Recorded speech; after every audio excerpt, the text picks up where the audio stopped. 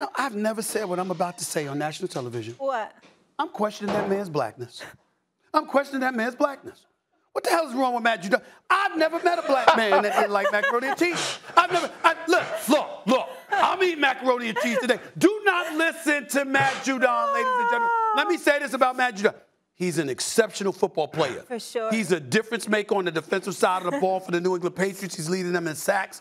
I'm, i respect the brother and all this stuff. This is just a subject about mac and cheese. This is not a subject about his overall character. It's not a subject about his football ability or anything like that. But I, he, I mean, black men, we need to have a conversation with him. I, I, I, I don't know who the hell he think he is.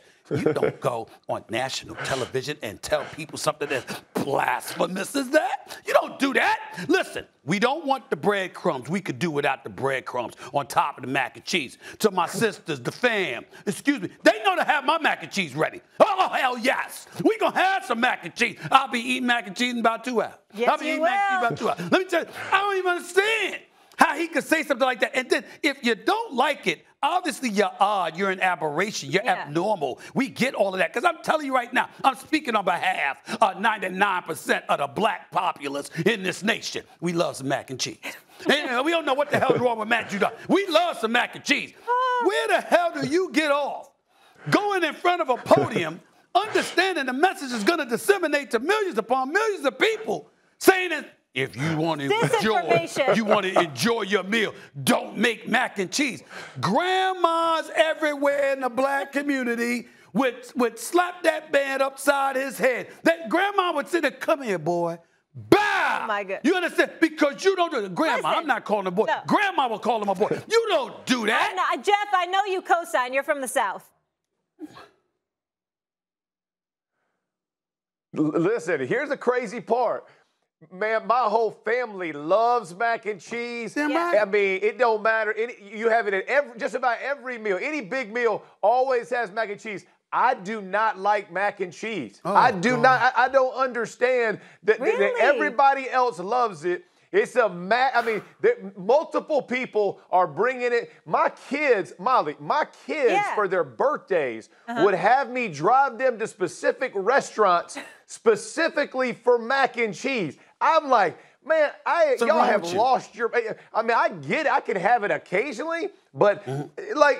I mean, and look, it ain't, and listen, Stephen A. It the ain't black and white on this one. I've never met, I've met very few people who don't love mac and cheese, but I am one of those people, man. Like I ain't trying to, You- you- I ain't okay, trying to get okay. down with it At least every. you admit I'll take you're some weird. greens. At least you I'll admit take you're some weird. mashed potatoes. I'll take any of that over over the mac and cheese. At least you admit you're weird. Okay, we're, that's we're, not a we're crime. gonna move you're on. weird. Okay, We're gonna but move on. I don't discriminate. I eat every listen, style listen, there is. listen, the palate when it comes into your mouth, it just melts Oh, my in goodness. the mouth. Okay, I'm I mean, starving. are you I kidding me? I- listen, I forgive you because you're a little bit weird. But Matt Judon is on a different level. What's wrong with this brother? What is wrong with him? He's got. I'm telling right, y'all all right, right, now. all right. You talk, get to some approach black people. He got to turn in his black card. Okay. I'm telling. I'm saying it. All right. No mac and Today, cheese. we are grateful not just for mac and cheese, some of us, but NFL games all day long. But on Christmas Day, we're also blessed with top NBA matchups. So, Jeff, which is better, NFL Thanksgiving or NBA Christmas?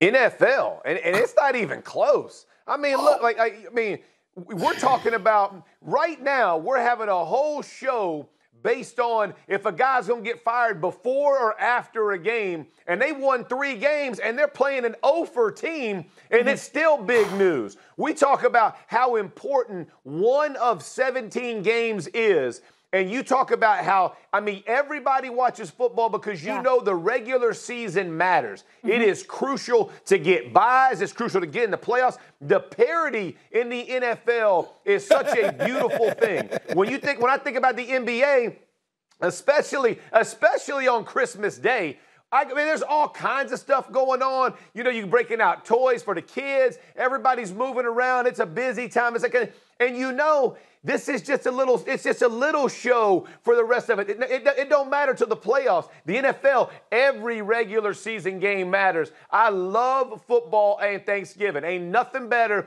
Every family member knows it's a staple. It's a setup. To Stephen A, it's his mac and cheese for America, baby. Everybody sits down and watches ball on Thanksgiving as well as they should. Let me tell you something right now, man. You can sit up there and talk that nonsense all you want to. You know when 12 noon arrives, you're going to finish cooking. You ain't watching no daggone Lions games.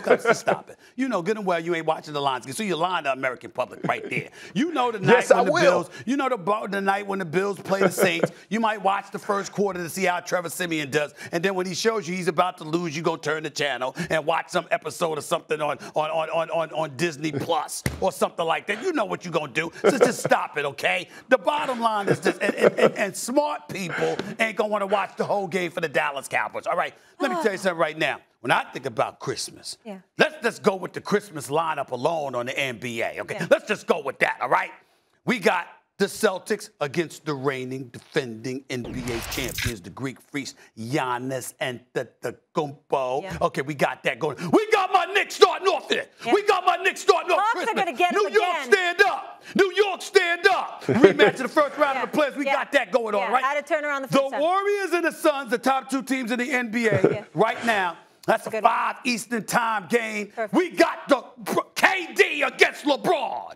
KD against LeBron, okay? The Nets at the Lakers, okay? We got that going on.